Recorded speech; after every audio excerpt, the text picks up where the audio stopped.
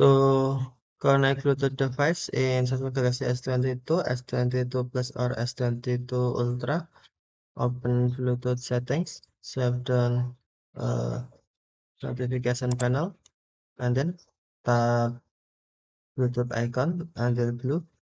If you cannot find Bluetooth icon in here, tap settings icon, tap the icon, and then select connections, tap Bluetooth, and then tap Bluetooth switch until on or until blue.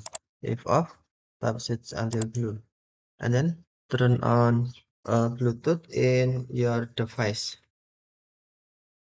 Well,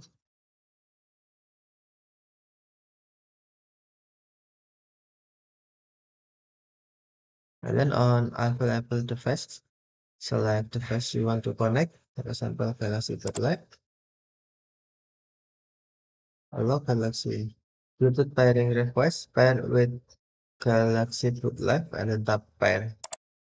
You can use okay. Your device was connected. Hello Galaxy, you're able to access this device location.